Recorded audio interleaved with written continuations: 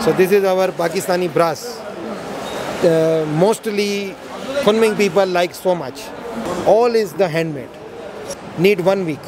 With this uh, expo, probably 80 countries here, so I get to experience like a culture of different countries where I have not been before.